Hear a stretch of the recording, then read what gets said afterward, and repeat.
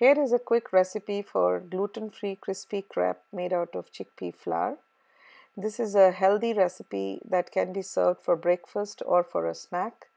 It's uh, much more healthier than the regular wheat flour and it doesn't need much of ingredients. So to start off we just need chickpea flour, some water and a few spices. So you add some salt, red chili powder and some garam masala just mix all the ingredients and then add some water and whisk it well with either an electronic blender or with a hand whisker. Once you see that the mixture is uh, nice and smooth, it's ready to be put on the pan. So I'm going to be making it without the vegetables first and then with the vegetables. So this is the plain crepe that you're seeing now.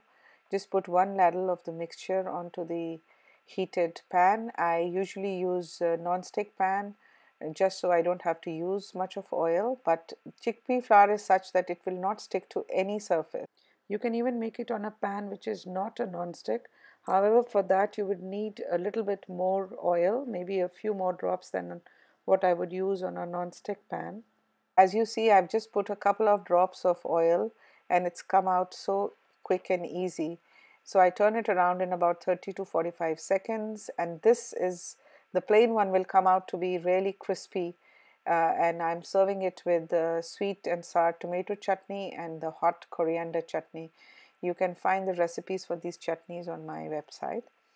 Now the second one you're seeing here is with all the vegetables. So whatever I had handy, I'm putting it in.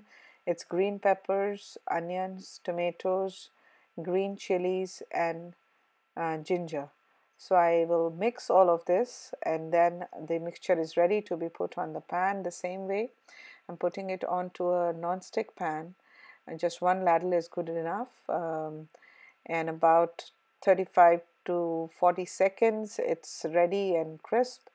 Uh, you can add a few drops of oil again. Uh, oil makes it a little bit more moist and soft but you may choose not to put any oil. Um, so once the oil is put about 10 seconds or so you wait for the oil to seep in and then turn the crepe around and it's ready to serve. As I said earlier, you can be as creative as you want to be with this. You can add any vegetables that you have handy or non-vegetarian uh, people can even add some meats or sausages. Um, even in the dough, in the mixture, you could add some meats or cheese cottage cheese. So the options are numerous and you just have to be creative to get this uh, nice and yummy. Try this out, the healthy recipe for the chickpea flour crepe.